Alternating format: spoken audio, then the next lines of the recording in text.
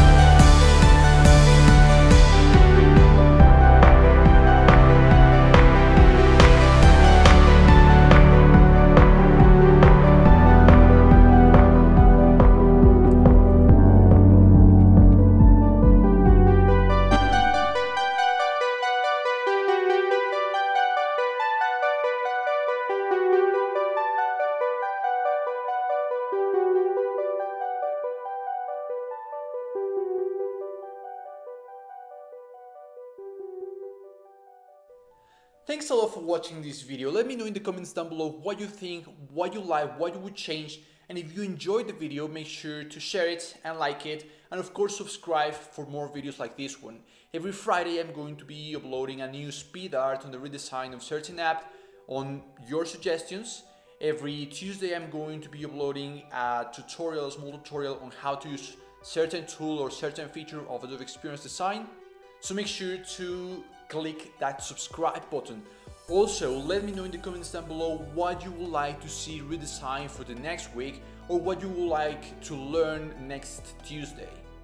By the way, you can find linked in the description links to the website that I use to download all of these icons that I sometimes use, the website of the author of the background image that I used in this video, the link for you to download the resources for Adobe Experience Design on the Windows Fluent Design System, as well as a link to my Adobe Experience Design course, which you have 50% off, by the way.